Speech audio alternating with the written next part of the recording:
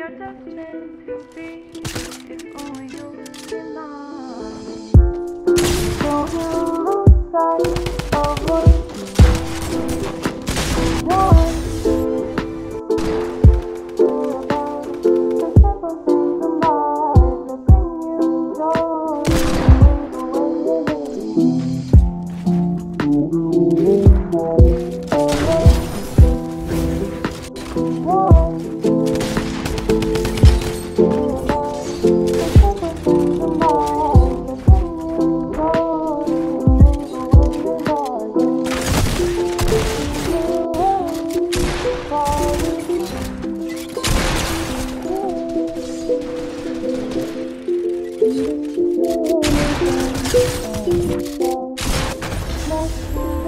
Oh.